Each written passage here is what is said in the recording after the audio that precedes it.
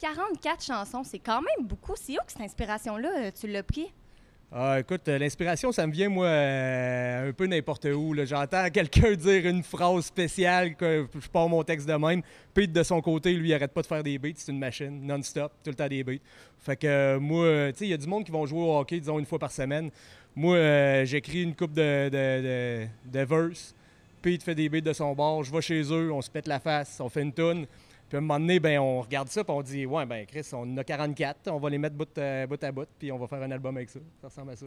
Est-ce que je peux te demander de me faire un petit extrait de ta préférée du- de l'album?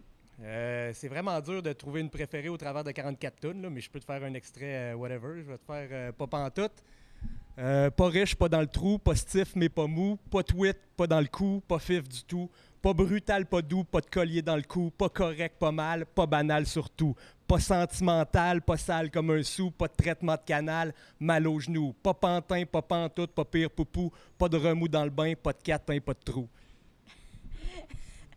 J'aimerais ça, pour les gens qui te connaissent un peu moins, que tu nous donnes un mot pour décrire Vice. Vice?